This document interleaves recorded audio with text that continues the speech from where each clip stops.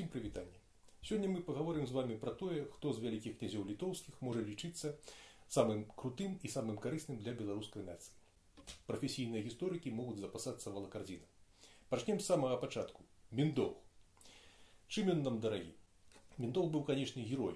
Ён і ўся яго радня, там сын Войшалкі, племяннікі Таўцівіл з транятам і швагер Даўмонт, яны нагадваюць такіх, ведаеце, еўрапейскіх варварскіх каралёў 5 стагоддзя готы вандалы бургунды з цёмных вякоў вот там сапраўды там былі і выкраданні жонак і забойства канкурэнтаў пасля лазі і сітуацыйныя хрышчэнні і потым расхрышчванні ну адпаведна можна зрабіць такую валюнтарыйскую выснову што у 13 стагоддзі мы адставалі ад заходняй Еўропы недзе на 800 гадоў зараз гэты разрыў скараціўся недзе разоў 14-16 значит ёсць падставы для аптымізму чаго дамогся міндоўг Бендоу домогся такой першаснай цэнтралізацыі. Это значыць, што заходнія, ну або ўсходнія паслы, напрыклад, калі яны прыязджалі у наш маляўнічы куток некранутай прыроды, пасля міндоўга ўжо разумелі, з кім тут можна размаўляць.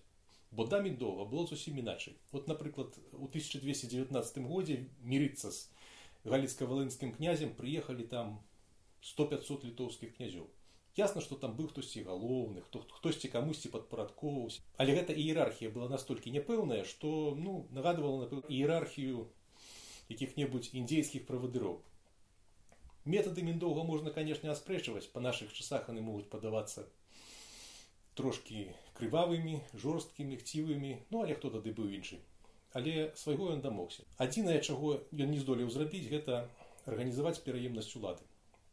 На той час это было важна і пасля смерці міндоўга яго нашчадкі яшчэ гадоў 30 рэзалі адзін аднаму горла ад некаторых нават імёнаў не засталося віцень пра віценя адносна не шмат вядома але ён асоба значная ну лішне казаць ён заснавальнік дынастыі якую праўда назвалі гедымінавічамі паводле імя яго ці то сына ці то малодшага брата Магчыма віцень быў такой ведаеце кампраміснай фігурай накшталт маскоўскага цара михаила романова якая дапамагла скончыць міжусобную разню пра якую мы казалі трошкі раней Пра яго высокі аўтарытэт сведчыць і легенда пра тое, што віценя забіў пярун. У нашых продкаў паганцаў гэта лічылася такой вельмі ганаровай смерцю. Таксама ў летапісах узгадваецца факт, што это віцень і змыслі сабе герб. Это значыць прыняў сабе герб цалкам еўрапейскі. Ну і з тых часоў мы пад пагоняй. Едымін.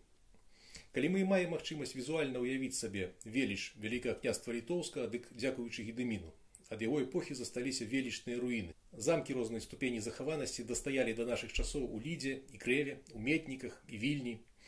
Едамін, дарэчы, зрабіў вільню сталіцай вялікага княства літоўскага. Да таго вялікія князі вандравалі, пераязджалі з месца на месца. Ну такі э, вандроўны лад жыцця не быў нечым вынятковым. Так рабілі амаль усе еўрапейскія каралі. Іншага спосабу кантраляваць падуладную тэрыторыю на той час не было. Альгерт. Гэты вялікі князь грэе сэрца патрыёта сваімі трыма паходамі на Маскву і рытуальным прыніжэннем усходняга суседа, прыхінаннем дзіды да маскоўскай брамы. Памятаеце у летапісах легенду пра кіеўскага князя Алега, які прыбіваў свой шчыт да варотаў царграда. Это супраць Альгерда ў Маскве экстрана будавалі белакаменныя умацаванні. Ну, хоць узяць Крэмль, 70гадовы вялікі князь літоўскі ніводнага разу не здолеў, адкупаліся.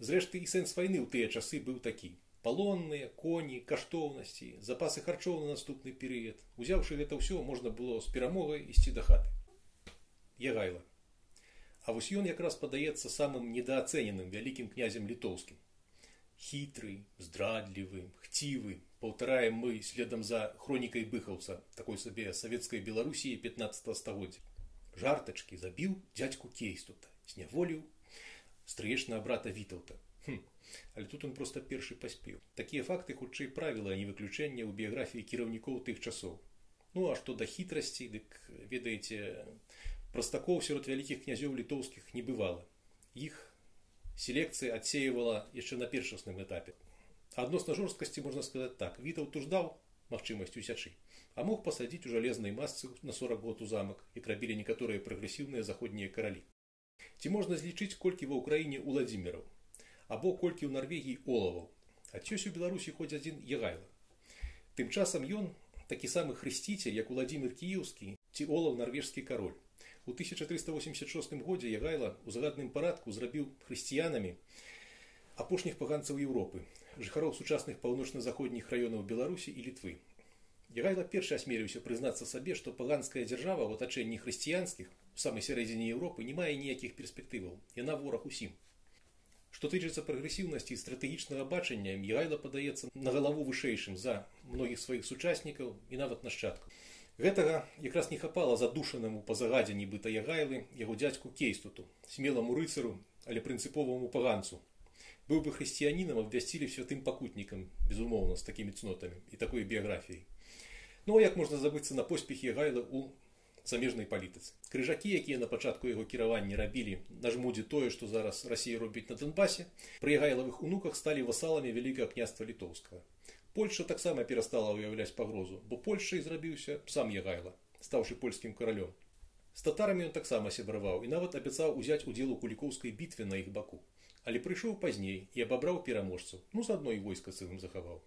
і галоўную справу караля ягайла зрабіў таксама пакінуў нашчадкаў ягелоны і вытворныя ад іх кіравалі ўсім рэгіёнам ад швецыі да венгрыі яшчэ тры стагоддзі а вось вітаўту не ўдалося стварыць дынастыю от у гонар каго гатовыя называць дзяцей беларусамі так гэта ў гонар вітаўта тым больш што хрысціянскае імя вітаўта было александр это самая раскручаная масавая культура і асоба вітаўт сёння гэта і князь і шампанскае і нават электробус неўзабаве папомніце маё слова будуць і вуліцы ягонага імя энергічны жорсткі прагматычны вітал зрабіў рэвалюцыю ва ўнутранай палітыцы вялікага княства літоўска пры ім вКл пачало набываць рысы моцнай цэнтралізаванай дзяржавы вітал першы наважыўся здымаць удзельных князёў анархістаў і замяняць іх вернымі пасаднікамі асабліва шэдэўральна гэта было зроблена ў смаленску такім стратэгічна важным горадзе на ўсходняй мяжы вялікага княства літоўскага там нашчадкі смаленскага князя ніяк не маглі падзяліць уладу вітаўт падышоўшы да горада выклікаў іх усіх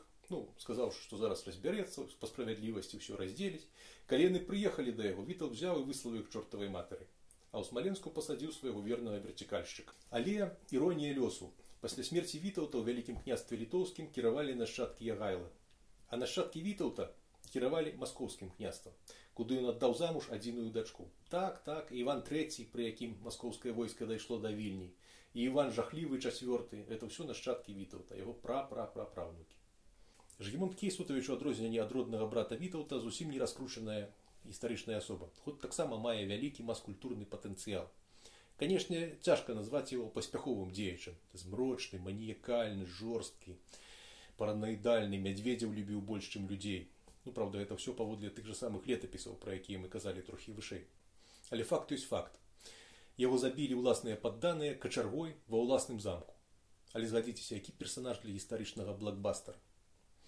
Жгемон першы быў апошнім вялікім князем які не кіраваў адначасова яшчэ і польшай як давалі сабе раду яго наступнікі як яны размяркоўвалі сілы і сімпатыі гэта ўжо зусім іншая гісторыя пра гэта а таксама пра многае іншае можна пачытаць у часопісе наша гісторыя Подпиской танней. Заставайтесь на сувязі. Будьте здоровые, мойте руки, носите маски. Всего наилепшего.